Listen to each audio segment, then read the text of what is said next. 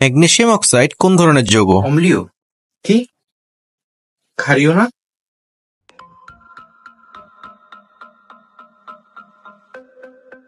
তোমরাও কি এসব টপিকে কনফিউশন ফিল করো? মৌলের অক্সাইডের প্রকৃতি নির্ণয়ের সকল সমস্যা সমাধান করব। আমি মোহাম্মদ সৌদ আসামি রিসেন্টলি যুক্ত আছি এফটি ইঞ্জিনিয়ারিং অ্যাডমিশন প্রোগ্রামে তো চলো শুরু করা যাক। দুটি পয়েন্টের মাধ্যমে আমরা দ্বিতীয় এবং তৃতীয় পর্যায়ের মৌলের অক্সাইডের প্রকৃতি নির্ণয় করব। প্রথমটি হচ্ছে সাধারণত ধাতুর অক্সাইড হয় ক্ষারকীয় এবং অধাতুর অক্সাইড হয় অম্লীয়। দ্বিতীয় এবং তৃতীয় পর্যায়ে কোন ধাতুগুলো রয়েছে চলো আমরা দেখে নিই। লিথিয়াম, বেরিলিয়াম, সোডিয়াম ম্যাগনেশিয়াম এবং অ্যালুমিনিয়াম। একটা জিনিস খেয়াল করে দেখো, ধাতু চিনা কিন্তু এখানে খুবই সোজা। প্রত্যেকটা ধাতুর নামের শেষেই আম আছে। তার মানে এই ধাতুগুলো সাধারণত এদের অক্সাইডগুলো হওয়ার কথা ছিল ক্ষারকীয়। এখন আমরা কিছু ব্যতিক্রম দেখব। যে ব্যতিক্রমগুলো আমাদের মুখস্থ করলে আর আমাদের সাধারণ নিয়মগুলো মাথায় রাখলে আর কোনো প্রবলেম হবে না। তো আমরা একটু আগে দেখছি ধাতুর মধ্যে একটা ধাতু ছিল হচ্ছে বেরিলিয়াম। তো বেরিলিয়ামের অক্সাইডটা হওয়ার কথা ছিল সাধারণত ক্ষারকীয় ধরনের।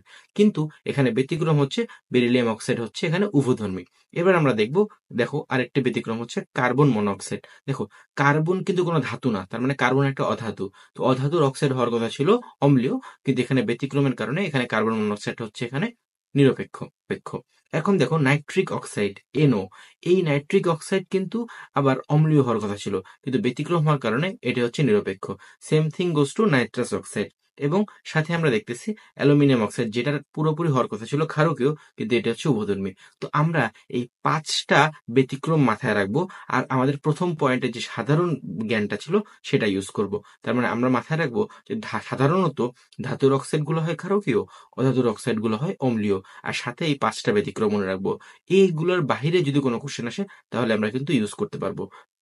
যেমন দেখো, আমাদের প্রথম কোশ্চেনটা হচ্ছে N A two O sodium কিন্তু এখানে একটা ধাতু, আর সোডিয়াম অক্সাইড, তার মানে সোডিয়ামের অক্সাইড, তার মানে এটা হওয়ার কথা হচ্ছে ক্ষারকীয়। যেহেতু আমাদের পাঁচটা ব্যতিক্রমের মধ্যে সোডিয়াম অক্সাইড ছিল না, তাই আমরা এটাকে ক্ষারকীয় বলতে পারি ইজিলি এর পরেরটা হচ্ছে সিলিকন ডাইঅক্সাইড সিলিকন কিন্তু কোনো ধাতু নয়, তার মানে এটা আবার ইভেন আমাদের ব্যতিক্রমের মধ্যেও ছিল না, তাই এটার অক্সাইড হবে হচ্ছে অম্লীয়।